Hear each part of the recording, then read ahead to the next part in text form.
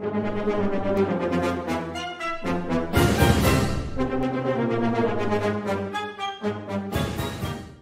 near Davos.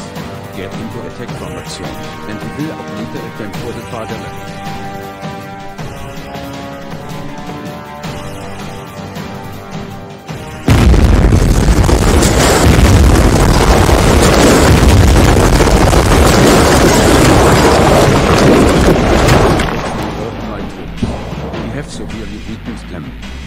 Job and bring glory to our hero. General Brown mobilized the entire facility.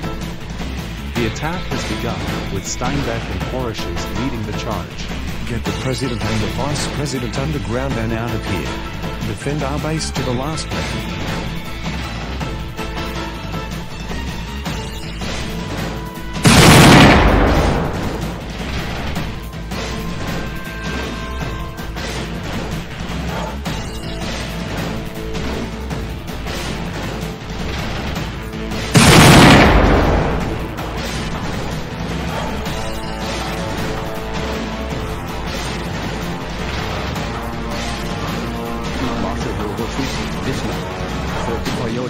Here and investigate the supernatural map. Find out how the research gave one of the soldiers' powers and the reason why our attack neutralized those powers. The knowledge will prove useful in making our troops more powerful. My forces will continue pushing and eliminating their remaining forces. Understood. Listen up, Steinbeck and Horoshoos leading an assault on our base and have reached our supernatural lab. I'm going in to try and stop them. Get back here as soon as possible. Understood. We're moving as fast as we can.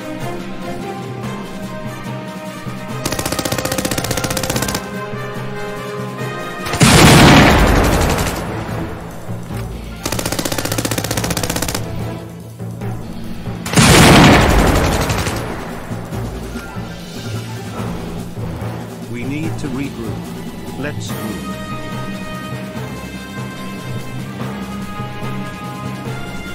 Hurry. We don't have much time.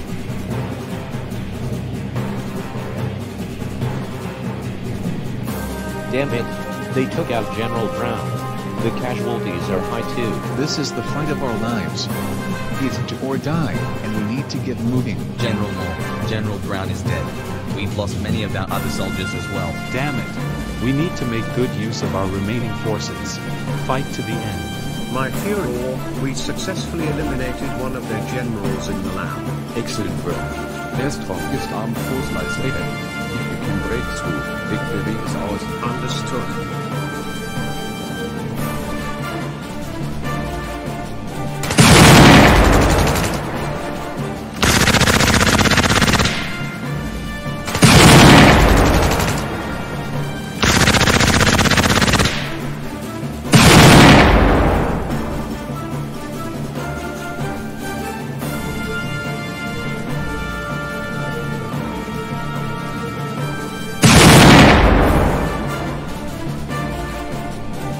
We have eradicated the last of the old United States Republic and will their leftover forces accordingly.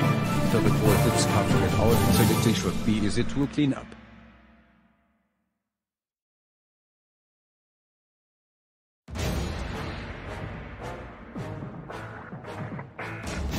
We have a Fog News breaking report. The United States of America collapsed today, with the American Empire becoming the dominant American faction following the secession crisis. Their successful attack on the US's last stronghold killed President Brewer and Vice President Odell, who ran the country using emergency powers following the siege of Washington, D.C. due to being the last surviving members of the United States government. Hans Steinbeck, the leader of the American Empire and Die Volkspartei der Gerechtigkeit, spoke today following his faction's victory. My citizens, today is a momentous day in our journey to purified nation. Since we first seceded, we've known that the old United States Republic was weak and heavily flawed. With our victory today further reinforcing it needed to go.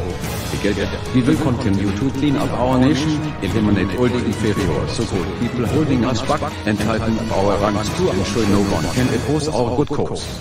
We will have a stronger nation once more. Breaking news. The worker states, the Confederate States, and the American Empire have agreed to a ceasefire. The ceasefire ends the violence instigated by each faction's decision to secede from the now defunct United States of America, though whether the peace will last remains to be seen. Each faction seceded for various ideological reasons, and with the irreconcilable differences between them, they will likely use the ceasefire to replenish lost resources before going back into armed conflict with each other.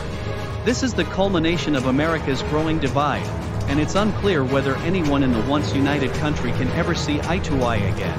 Field Marshal Horoshoos, the guest chambers are ready. It's time to start the purification process.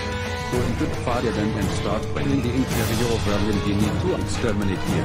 At last, we can clean up our population. Understood.